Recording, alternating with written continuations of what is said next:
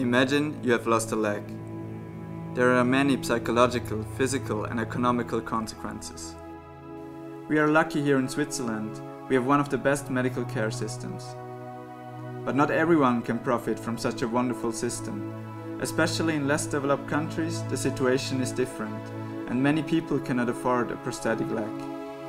The existing solutions lack in terms of affordability, functionality, and availability. On the other hand, 72% of the worldwide yearly produced plastic packaging ends up in the nature or in landfills, which are often found in less developed countries. As industrial designer, we see this plastic waste as a valuable resource for meaningful products. So we came up with the idea to combine the topics of plastic pollution and the high demand of low-cost prosthetic legs. And this is how Project CircLeg was born. In comparison to existing low-cost prosthetic legs, the CircLeg has a very high functionality, which not only provides a lot more comfort to the users, but also enables them to perform daily activities without huge limitations. We developed adapters which allowed alignment to each individual body. The polycentric knee joint is equipped with a mechanism which swings the leg forward while walking in order to prevent dangerous trip hazards.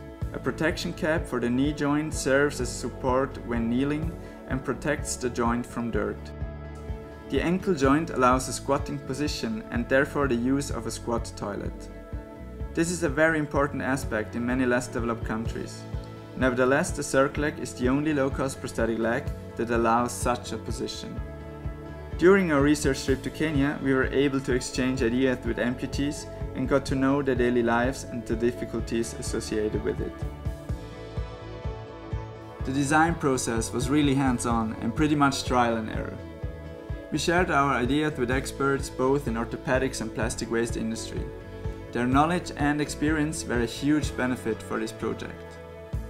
We know that we can't solve the plastic waste problem. We rather see the plastic waste as a versatile resource, which enables us to cut the material costs down to 50% compared to primary plastic.